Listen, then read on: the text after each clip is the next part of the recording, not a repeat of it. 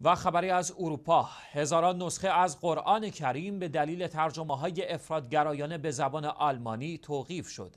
بنابر گزارش خبرگزاری آلمان توماس دیمیزیره وزیر کشور آلمان اعلام کرد هزاران نسخه ترجمه شده قرآن به آلمانی مصادره شده است. ترجمه این قرآن ها به گونه است که حاوی دیدگاه های افراطی تشویق به نظامیگری و اعمال خشونت شده است. وزیر کشور آلمان افزود 22 هزار نسخه از این قرآن ها را پیدا کردیم. جلوگیری از پخش این قرآن ها بنابر قانون اساسی آلمان و در راستای جلوگیری از اقدامات خشونتبار و ایدولوژی های توأم با نفرت صورت می‌گیرد. توماس دیمیزیره همچنین اظهار داشت این قرآن ها توسط گروهی موسوم به دین حق ترجمه و چاپ شده است. این گروه تا کنون 140 نفر را برای شرکت در اعمال تروریستی سنی های تندرو در عراق و سوریه تشویق کرده است.